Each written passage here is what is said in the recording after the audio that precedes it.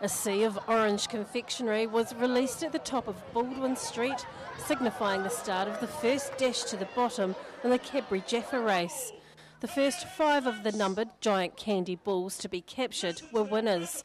For one lucky family on holiday from Christchurch, there was amazement when their ticket number was called out.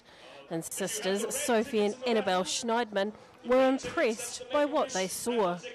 Uh, well, we were at the bottom, so we couldn't really hear it, but it looked like a blue sea coming down.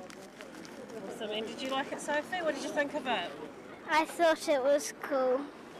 Cadbury partnered with three organisations who benefit from the more than $100,000 raised. Make a Wish, Surf Lifesaving New Zealand, and Parents Centre New Zealand all receive a cut. Three races raising over $100,000 uh, here for local communities in Dunedin. So we're really, really pleased here at Cadbury to be associated with such a great event.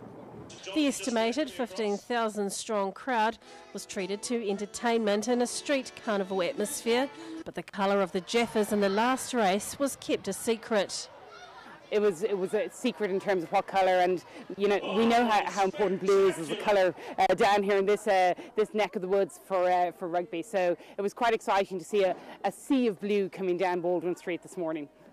Even though it was all over quickly for the families and people who made the trip down the valley, the spectacle of seeing a sea of sweet candy sailing down the world's steepest street will be something to savour for some time.